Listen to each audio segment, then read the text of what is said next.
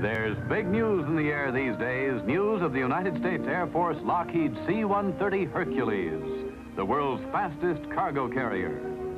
And inside this ship, which is soon to be available for commercial use, there's more big news.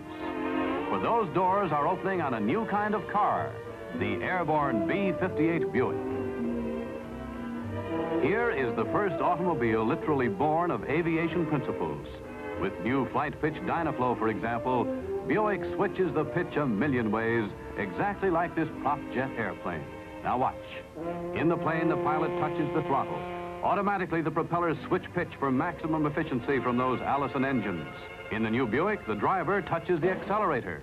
Automatically, the Dynaflow propellers switch pitch for maximum efficiency from Buick's new B12000 engine. Result, pitch-perfect smoothness in all stages of takeoff, climbing, cruising. Now, meet another aviation principle in the airborne B-58 Buick, a greater use of aluminum than ever before. Strong, light aluminum is put to work in the functioning parts of the new Buick. In the transmission and the cooling system, for example.